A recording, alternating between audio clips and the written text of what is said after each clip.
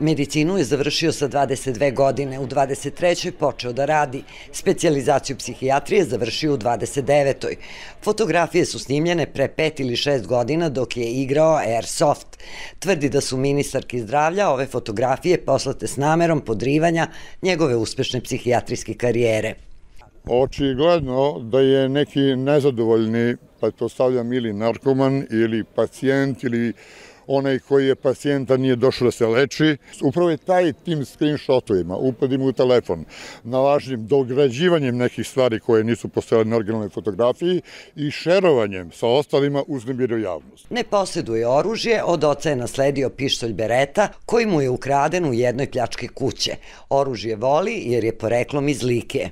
To je klasična patriarchalna kultura dete za prvi rođendan dobije utoku, to zoveš, mislim, to je, to je naša, da kažem, moj otac je od uvek, kako da kažem, imao, nikad u životu nije zloupotrebio.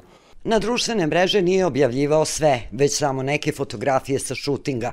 Za Dragana Marinkovića, urednika portala Rešetka, i te neke fotografije poznatog neuropsihijatra javnost različito tumači.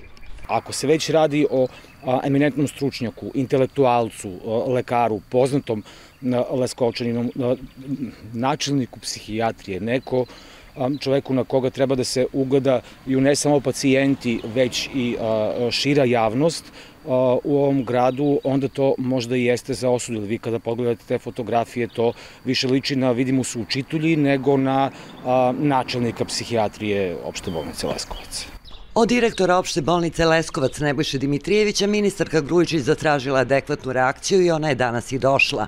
U telefonskom razgovoru Dimitrijević nam je rekao da Tojaga podnosi ostavku na mesto načelnika neuropsihijatrije iz moralnih razloga, a da će od oktobra u zasluženu penziju jer ispunjava sve zakonske uslove.